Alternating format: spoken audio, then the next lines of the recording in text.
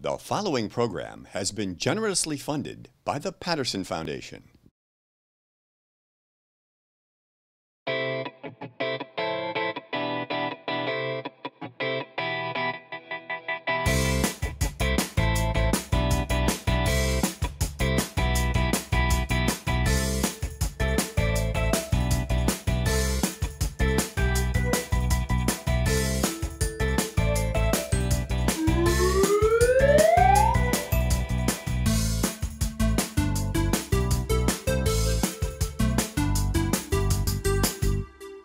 Everyone. Welcome to another episode of This Book is Cool.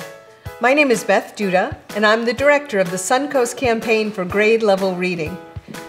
Have you ever looked at the night sky and wondered what's out there? Well, if you have, we've got a fabulous book for you today.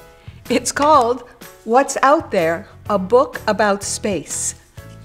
This book has all kinds of interesting information about the things that we can see in the night sky. Some of the things we can see with just our eyeballs, and other fascinating things we can see by looking through telescopes. And then other, even more incredible things can be seen by looking through powerful telescopes at places like planetariums. It brings me to our very special guest that we have with us today. From the Bishop Museum and Planetarium, we have Declan Sheehy. Hi, Declan. Hey, Beth, how are you? I'm good. How are you? When we can do it in person, but this works for now. It does. And you know, as we were, were thinking about a book and thinking about outer space, all of us immediately thought of the wonderful planetarium that you have at the Bishop. Yeah, it's a fantastic facility, and we're delighted that we can do so many science programs and STEM programs. And sneak peek, we are upgrading the planetarium in the next couple of months. So when we come back, it'll be even better and brighter than before. Wonderful. That's great news. So, is outer space something that you've had an interest in for a long time? Uh, yes. Um, I actually, when I was a kid, I remember watching Apollo 11 and thinking, I want to grow up to be an astronaut, which was aspirational. And living in Ireland turned out to be a little more difficult than one would have thought. You talked about growing up in Ireland? Yes. That's um, a, a long way from here. But one of the things I love about outer space is you can look at the sky in Ireland and see many of the same heavenly bodies that we can see from Florida. Correct. This is a little different perspective and a little more northerly, but uh, yeah, it's interesting because you know all across planet Earth we are looking at basically the same sky if we're in the northern hemisphere and a slightly different sky if we're in the southern hemisphere. But it's all about perspective, but we all actually see much the same things, the same planets, the same stars in lots of cases. So that makes it fun. When I was young, I used to like to go out into my backyard and look for star constellations that I could identify. Sometimes I would see the Big Dipper or the Little Dipper or try and find some of those other. Um, and then someone shared with me that some of the things that I thought were very bright stars were actually planets, and that we could see planets with our, our naked eyes sometimes, which was amazing to me. It's incredible with the the Greeks, particularly in ancient times, looked up at the heavens and saw all of these points of light and decided to make beautiful artistic representations of what the what the constellations perceived for them.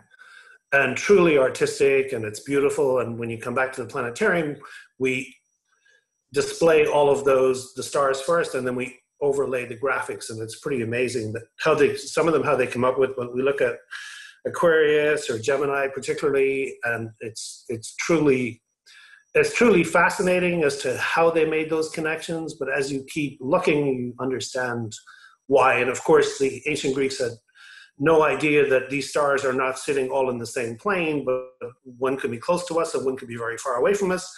And to your point, one may not be a star at all. It could be a planet. And of course, we have, you know, we have the brighter lights in the sky. Right now, you can see Venus really, really well. It's the brightest, it's the third brightest object in the sky after the sun and the moon. So it's highly visible. Um, but we can see Mars, we can see Jupiter, we can see Saturn with the naked eye. And that's that's pretty cool. And if you have a small telescope or a pair of binoculars, you can make out some of the moons. And of course, you know, there's eight planets in our solar system, and we can name them all. But and some people might contend that there's nine, but we're leaving Pluto out because it's an exoplanet at this point. Yeah, it's fascinating to learn all of these different facts. And, and this book, What's Out There, a book about space, has an awful lot of facts in it.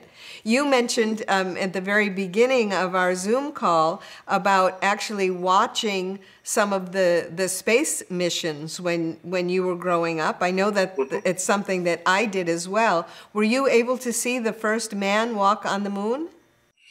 Yes, in black and white and very fuzzy, but it was it was very impressionable. July 1969. One small step for man.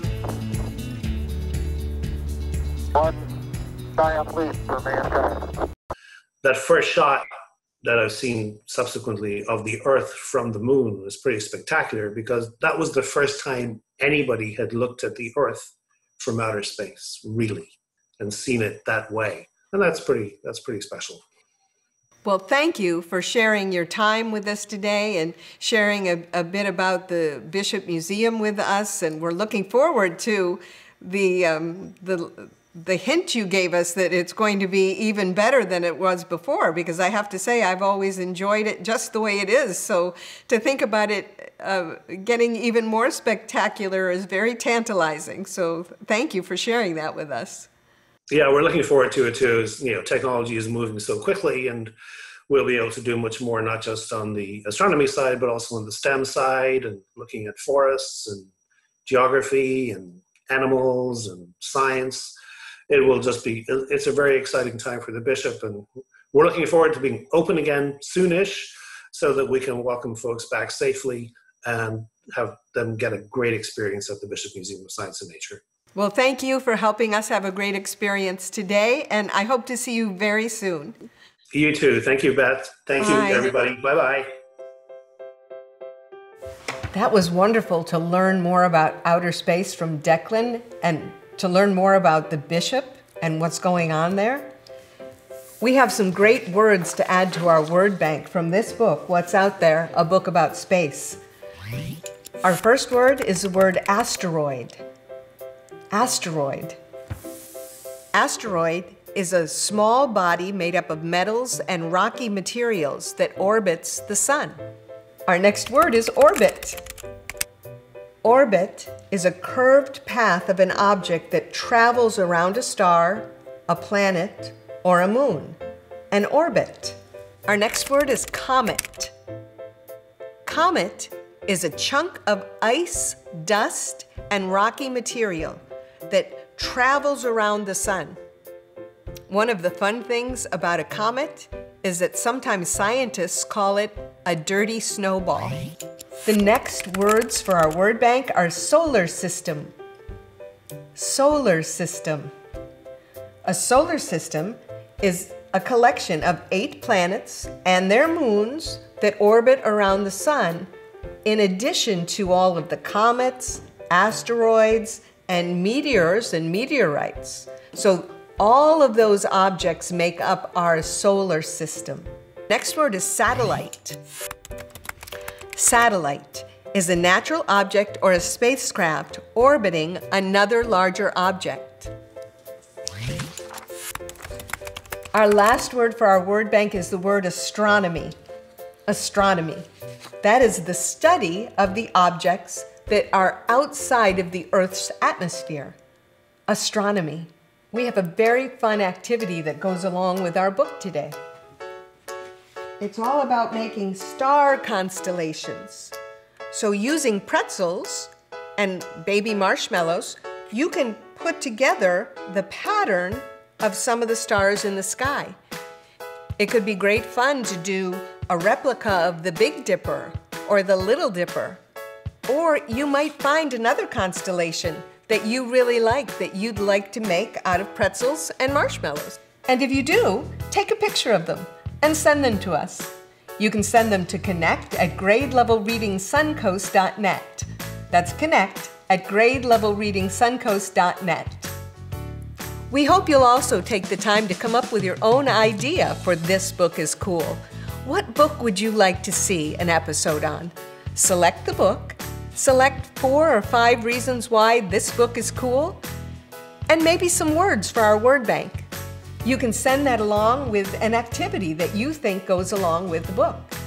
We hope you'll send your ideas for episodes or your episodes to us at connect at grade-level-reading-suncoast.net. It was really fun to think about outer space with you today. We look forward to having you with us for another episode of This Book is Cool. Until then, keep reading. Reading is the key to succeeding. See you soon.